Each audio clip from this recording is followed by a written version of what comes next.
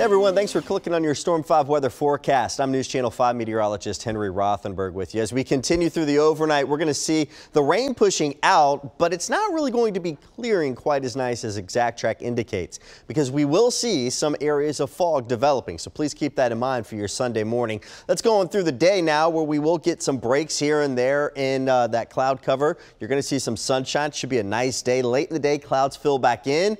Rain chances, well, they start to increase going late into Sunday and into the overnight as well. Through the night, temperatures in the 50s as we see the rain taper off and mainly just some areas of fog. Through your Sunday, I'm looking for temperatures to go from the 60s in the morning time frame into the 70s by lunchtime and into the afternoon, topping out around 79 degrees.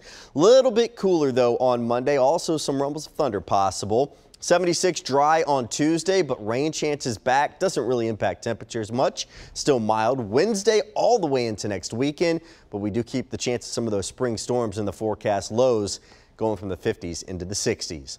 Thanks for clicking on your forecast. Be sure you join meteorologist Heather Mathis starting at 5 a.m. She has much more for you then on News Channel 5 this morning.